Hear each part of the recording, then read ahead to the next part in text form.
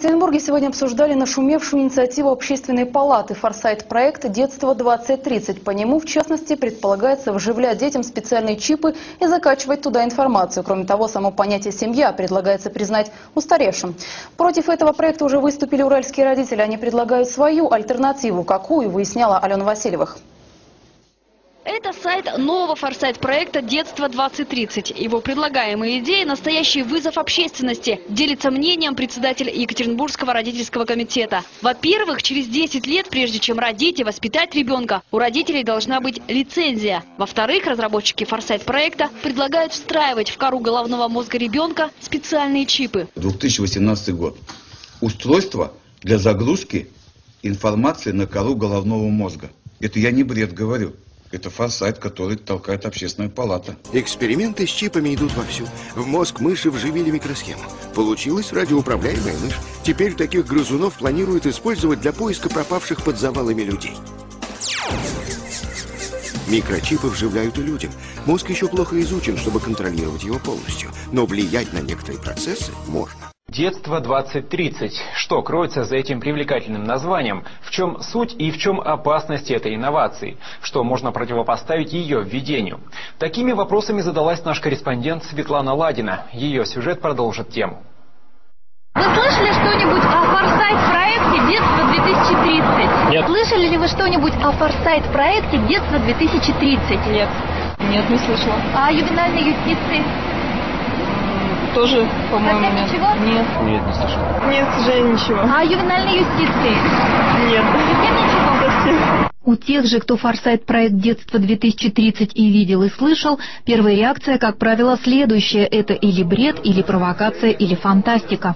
У кого-то возникают ассоциации с произведениями Оруэлла, братьев Стругацких или Юлии Вознесенской. Однако поддержка проекта Общественной палаты России говорит о том, что все более чем реально. Это не провокация, это, это, реальный проект, который пытались на самом деле протащить. Еще в мае 2010 года Сергей Владимирович Писарев, президент фонда «Русский предприниматель», узнал о проекте, призванном на первом этапе разрушить традиционные семьи и отнять детей у родителей, а завершиться поголовной чипизацией и генной модификацией детей еще в утробе матери. Однако все попытки бить тревогу тогда успехом не увенчались. Люди не верили в то, что подобное возможно. Сомнения рассеялись после того, как форсайт-проект «Детство-2030» был представлен на выставке «Экспо-2010» в Шанхае в качестве российской инновации, а на декабрь минувшего года было назначено его рассмотрение Государственным Советом. Павильон Экспо-2010, пресс-центра РИА Новости в Шанхае. А, Хочу вас э, э, познакомить с нашими гостями. Сегодня у нас в студии присутствует Светлана Сергеевна Журова, вице-спикер Государственной Думы Российской Федерации, член Общественной палаты Александра Васильевна Ачирова, член Общественной палаты Леонид Константинович Гусельников. мира в целом. Только тогда его жизнь будет осмыслена и комфортна. И вот в этом смысле духовное, нравственное, культурное просвещение очень важны. Я бы заканчивая хотел э, еще раз поддержать тот мегапроект, который здесь уже представлен, мегапроект детства, с которым выступила Алина Радченко. А, Мне кажется, что методически и технологически он дает возможность а, на уровне социального проектирования решать задачи и проблемы, о которых мы сегодня говорили. Спасибо. Спасибо. Москва, вам слово. Спасибо. У нас Егорыч, есть... а, я сейчас передаю слово Сергею Алексеевичу Субботину. Пожалуйста. Ну, мы продолжаем эту тему о Да. пересмотре как бы роли и мест детей в современном мире, потому что дети – это и есть будущее. И смотреть в это будущее нужно через призму Спасибо, детства. добрый день, уважаемые коллеги. На мой взгляд, э, э, очень э, хороший, очень перспективный и заманчивый для Мурманска пилотный проект предложен э, «Детство 2030».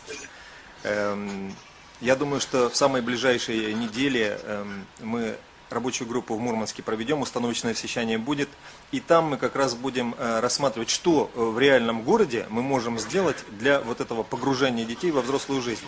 Как создать те самые порталы, то есть места соединения взрослой жизни с детской, которые э, позволят не с позиции взрослых, не с позиции силы, не, так сказать, надменно с позиции более умных, а на равных позволить детям погрузиться в нашу жизнь.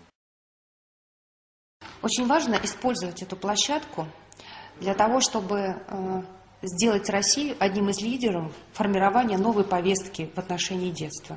Сегодня вообще кризис, э, как говорят финансовый, на самом деле кризис идеологический, кризис э, хоть какого-либо понимания, даже ближайшего будущего, не говоря уже вплоть до 50-го года. И Россия могла бы выступить лидером в формировании этой повестки дня. Каким должно быть будущего через переосмысление отношения к детству для родителей будет учреждена проверка их знаний и компетенций.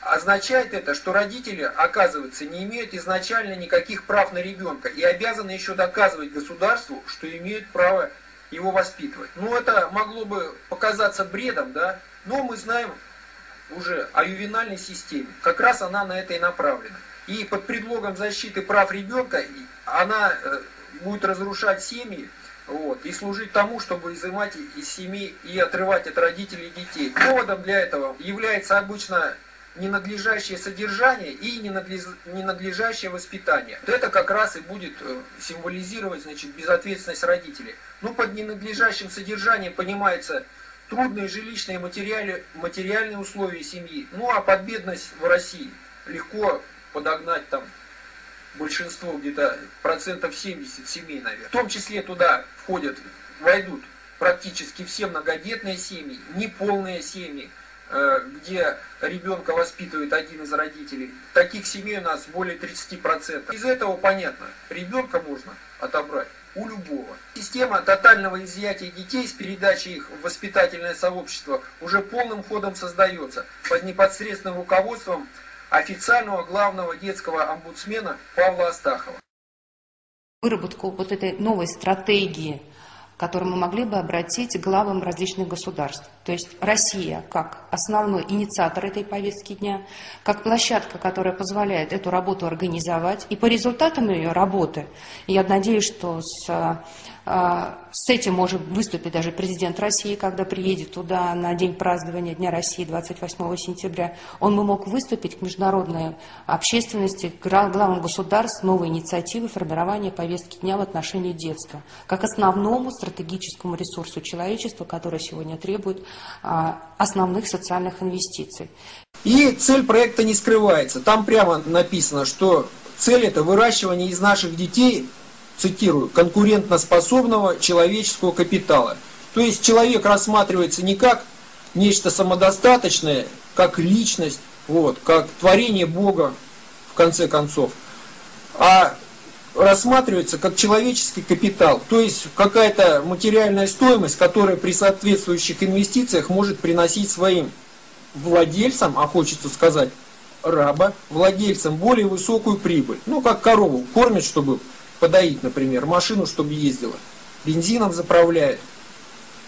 И наших деток, которые к 30 году э, станут вполне взрослыми и годными для эксплуатации, вот, планируется соответствующим образом к этой роли готовить. Как раз Форсайт проект это как раз вот такая подготовка. Все говорят, умные люди, что главным и прорывными технологиями, инновациями в 21 веке будут социальные технологии, то есть нечто вложение в человека. Так вот, вложение в человека они понимают в производстве биоробота, которых мы сможем поставлять во все цивилизованные страны. Вот. Значит, э, я немножко просто приговорю э, то, что скажет наверняка Максим Калашников. Он э, в Шанхае побывал на нашей этой выставке. Там есть город детства. Не скрывается, что город детства, этот павильон, город детства, создан в рамках, ну, сразу же так человеку не скажешь, что детишкам вживлять, так сказать, чипы будут, да? Э, вот. А надо к этому готовить. Вот города, которые строят дети, как им нравится, там есть незнайка там всякие, да, все прочее. Но там есть и девочка компьютер, у которой чип в мозге, и она имеет возможность пообщаться со всем миром. Лапочка такая. Будущая русская девочка.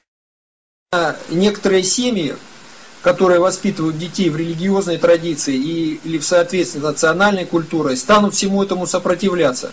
Ну, таких консерваторов детей просто-напросто принудительно э, будут изымать с использованием ювенальных технологий, передавать под опеку воспитателям, и тогда уже решение стерилизации ребенка будут принимать они. Кстати, закон о принудительной стерилизации уже готов и передан в Госдуму. Ну, а в качестве развлечения, чтобы не было так скучно и одиноко, любой сможет заводить э, ребенка робота или виртуального ребенка в компьютере. Вот, об этом тоже говорится в дорожной карте. Ну, у нас опыт есть. Помните, одно время было повальное увлечение тамагочи.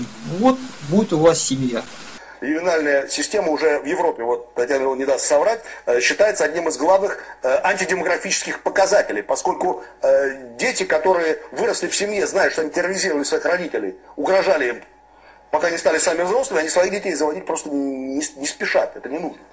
Но для этого, наверное, прилагается, например, робот-ребенок. Вы знаете, что уже создан для, извините, сексуальных утех, э, движущиеся и говорящие уже эти самые куклы. Стоит она, правда, сейчас немного. Японцы уже сделали, 7 тысяч всего долларов стоит. Грозятся довести до тысячи и пустить массовое производство. Вот. Следующий э, этап это робот-ребенок. То есть это такой, знаете, телесный вариант тамагочи, которым можно будет э, поиграть с тем семьям, которые отказались от детей. Ну, понятно, если хочется, женщину не переделаешь. Нет, там на родителей надо будет сдавать экзамен. Да, нет, это само собой. Да, не, не, я уже говорил об этом, что на родительство, на право не только воспитывать, но и родить ребенка, надо будет сдавать экзамен, который будет принимать заинтересованные лица. Да, ну и робот-няня, это вообще финал. То есть железяки доверить, собственно, воспитанию своего ребенка первичное, когда закладываются у него все понятия добра и зла. Выработку вот этой новой стратегии которые мы могли бы обратить главам различных государств. То есть Россия как основной инициатор этой повестки дня, как площадка, которая позволяет эту работу организовать. И по результатам ее работы, я надеюсь, что с